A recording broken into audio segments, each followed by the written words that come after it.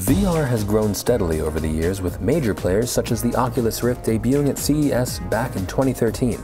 But this year, VR has truly exploded with numerous devices, platforms, and more complete experiences. Here's some of the most interesting VR devices we found at CES 2017. Voxel is more than just VR. It's a completely immersive room that requires no headset or cables to get started. Players stand in front of a large screen with easy-to-wear glasses and interact with their environment in real time. Pimax's 8K VR headset provides a stunningly immersive VR experience that's compatible with Steam VR. With a full 4K resolution in each eye, it brings a previously unseen level of clarity to VR. And if you're a fan of the arcade experience, iCES provides a complete arcade-ready VR cabinet based on the HTC Vive. Nolo from LYRobotix makes premium VR gaming accessible through your smartphone-based VR headset.